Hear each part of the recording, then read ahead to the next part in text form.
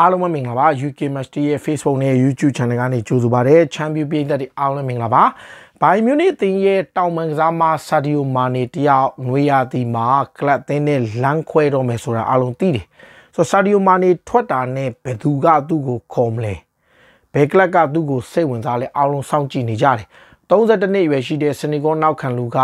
ဘိုင်ယန်ကိုလီဗာပူးကနေပြောင်းလာပြီးတော့ဘိုင်ယန်ကိုရောက်လာတဲ့ပထမရာသီဘဝမှာသူတော်တော်လေးကောင်းတယ်။ ကမ္ဘာဖလားသွားကန်ကန်ဒီမှာ injury ဖြစ်သွားပြီးကြတဲ့ကမာနေကတောက်လျှောက် recover မဖြစ်ပဲရုန်းကန်နေရတာဖြစ်တယ်ဆိုတော့အခုလောလောဆယ်မှာ Manchester United အသင်းနဲ့ Newcastle United အသင်းက Sadio Mane ကိုခေါ်ချင်တယ်ဆိုပြီးတော့ဒါဂျာမန်မီဒီယာတွေဖြစ်တဲ့ Kicker နဲ့ Kicker Magazine မှာရော Sky Sport မှာဖော်ပြထားတယ်32နှစ်အရွယ်ရှိတဲ့ Sadio Mane ကို Chelsea ကလည်းစိတ်ဝင်စားတယ်န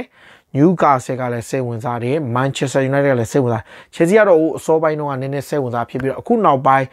ထဲထဲဝင်ဝင်စိတ်ဝင်စားတာက United နဲ့ Newcastle ပဲဖြစ်တယ်ဒီနှစ်သင်းလုံးကလာမယ့်နွေရာသီမှာဥရောပ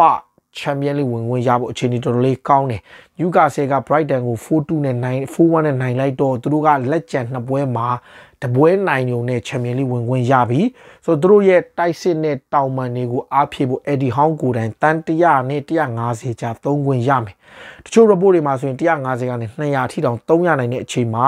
သူတို့ကတောင်မန်အင်အားဖြည့်ခြင်းတဲ့ကြောင့်ဆာဒီယိုမာနီကိုသဘောကျတယ်ဆိုဆာဒီယိုမာနီကိုအဲ့အချိန်မှာနယူကာဆယ်လိုချင်နေတဲ့အချိန်မှာတစ်ဖက်ကမန်ချက်စတာယူနိုက်တက်ကလည်းအသေးအံလိုက်နေတယ် United ကဘာကြောင့်လိုက်လေလို့ကျွန်တော်နားမလည်ဘူး။မာလို့တော့ Manchester United မှာတောင်ပံမှာဂါနာချိုရှိတယ်။အာမက်ဒီယာလိုပြန်လာမယ်။ပြီးရင် Pellistri ရှိမယ်။ဆန်ချိုရှိမယ်။အန်တိုနီရှိမယ်။ Rashford လည်းကစားနိုင်တယ်လို့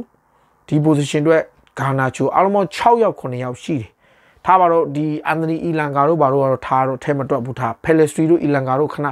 ဖယ်လိုက်။ Pellistri ဖြစ်တယ်ဒီဒီယာလိုတို့အီလန်ကာတို့ဖယ်လိုက်လို့ရှိရင် Pellistri ရဲ့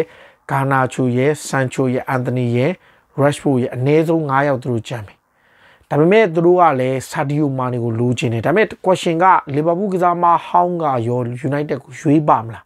နောက် Liverpool ပေးသက်တွေနဲ့ကြာမှာ against ဖြစ်သွားနိုင်တဲ့အခြေအနေမျိုးဆိုတော့ဒါပေမဲ့တေးကြတာတော့ Bayern Munich အသင်းက Sadio Mane ကိုနေရာဒီမှာရောင်းထုတ်မယ်ရောင်းထုတ်ပြီးတာနဲ့အဲ့နေရာမှာအစားထိုးမဲ့သူကိုပြန်ရှာမယ်တေးကြတာတော့ Mane က Leroy Sané နဲ့ Champions League ပွဲမှာဖြစ်ခဲ့ပြီးတော့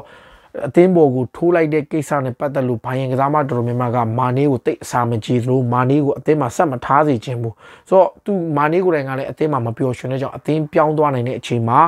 Newcastle United နဲ့ Manchester United ကအခုလိုစိတ်ဝင်စားတာဖြစ်တယ်ဆိုတော့မာနေရဲ့လက်ရှိတန်ကြီးကိုဘိုင်ယန်ကတန်း30နဲ့35တန်းလောက်ရရင်ရောင်းမယ်သူတို့လည်းသူတို့ဝယ်တော့ကလည်းအဲ့လောက်ပဲပြီးထားတော့အဲ့တိုင်းပြန်လို့ချင်းတယ်ဒါပေမဲ့အခုလောလောဆယ်မှာ